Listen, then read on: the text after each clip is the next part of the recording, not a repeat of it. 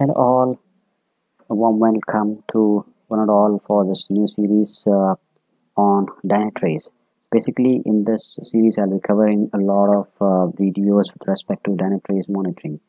Dynatrace is one of the leading enterprise monitoring solutions for servers, networks across on-premise, cloud, hybrid environments. It it it has uh, one of the best-in-class features that uh, that allows us to monitor a lot of parameters and we can have a lot of dashboards and reports also uh, defined along with it.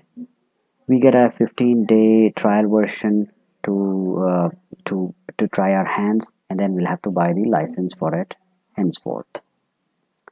So let's explore more on this.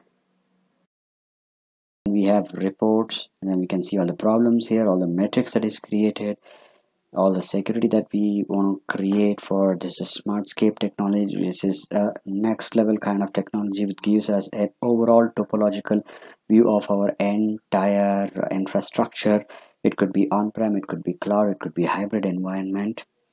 And then the diagnostic tools here we can see the application wise and then the database the host the network the technologies the vmware the cloud solutions like the aws azure they even give an option for Docker, Cloud Foundry, Kubernetes, etc. So the list is really, really endless, and we can explore a lot of things with respect to Dynatrace.